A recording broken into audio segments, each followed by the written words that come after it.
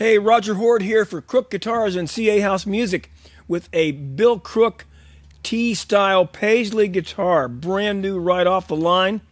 Uh, lightweight Paulownia body, has a Bill Crook Budz pickup in the bridge and neck, compensated saddles, uh, three way switch, great neck, great setup, just um, a joy to play. Here's the bridge pickup.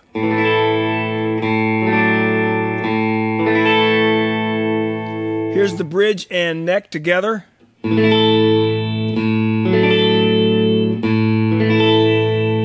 And here's the neck pickup.